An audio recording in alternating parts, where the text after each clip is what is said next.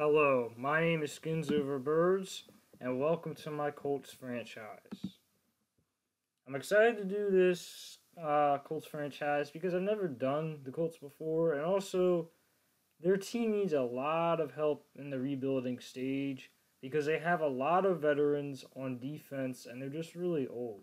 So, first off, I decided to create an owner called none other than Peyton Manning, and he'll be back in Indianapolis. That's how he'll be back. He'll overtake Jerry Irsay.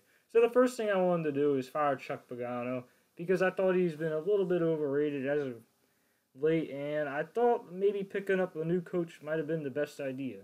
So I end up uh, hiring Thomas Pitta to replace him for at least this year and maybe next year, depending on how well this team does. You know, Peyton Manning, I mean, you can give a little patience because remember Peyton Manning's rookie year, he threw a lot of interceptions.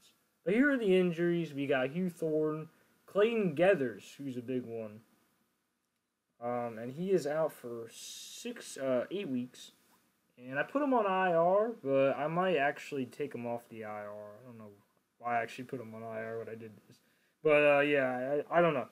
But you know, he's on IR for now, and you know, I mean, I just placed mostly a lot of these players on IR. But the biggest losses is Clayton Geathers, who is a young safety, and uh, I think his and Mewhort, our left guard, who's actually pretty solid as well, as well as Kendall Langford. He's out for the year as well. So, you know, we got a lot of injuries, but no one too major. Like I said, those two, Mewhort and Geathers kind of sucks. But, yeah. Moving on, you know, I was wondering the state of this team what depth we could use after all these injuries. But the first thing, well, the second thing I guess I wanted to do would uh, what was to move diff- uh, move positions around. The first thing I wanted to do was move Akeem Ayers to the middle, and that's because he has the best zone coverage on the team, despite only having 79 speed. But there's there's really no one else on this team, linebacker wise, that has good zone coverage, and we're probably going to be running like somewhat of an attacking three four, so we'll probably have the outside linebackers blitz a lot and we'll have the middle linebackers play a lot of coverage or have D'Qwell Jackson blitz as well.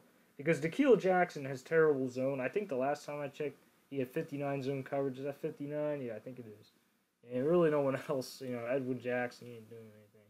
The next one I wanted to move was Trent Cole from the right outside linebacker position to the right end. Because just to have, like, more, you know, better players playing at, you know, positions they've actually played at. You know, Trent Cole has played right end or left end for most of his career in Philly, so. I mean, he's basically blitzed on almost every single play, so I don't know why uh, him and, you know, uh, Mathis, Mathis both play on the right. But we'll have Duke Williams be our starting sh- uh, free safety for Geathers as of now. We'll see how that impacts things. So here we are in free agency. We ended up signing a depth receiver in Kevin Smith out of Washington, and I also signed Chris Thompson in free agency, though I didn't put it in the video for some reason. We also signed Ben A. Ben Whitaker to a one-year deal to have some secondary depth, and that was all the signings I made besides signing two players off the practice squad. Here's the depth chart. We got Andrew Luck starting. We have Frank Gore. And by the way, uh, Chris Thompson will probably be our third down back. And our uh, he'll get a lot of shotgun snaps as well and a lot of tosses to the outside. He's definitely going to be implemented into my offense. He's a very quick and agile player, so something that we don't have a lot of at the running back position until we signed him. And uh, I had to move Trent Cole to right end.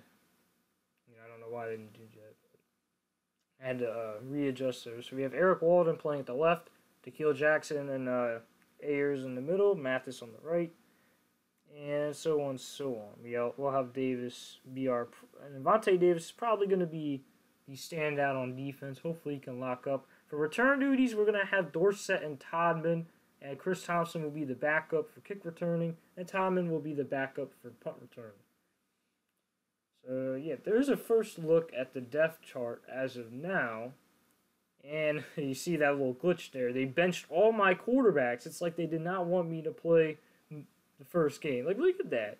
It's like they wanted me to start uh, Pat McAfee or something. Even though he might have a better arm than a few other quarterbacks like Brock Osweiler.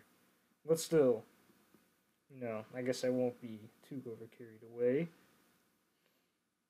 So that's basically it. So I'll see you guys for week one. I don't think I did anything else.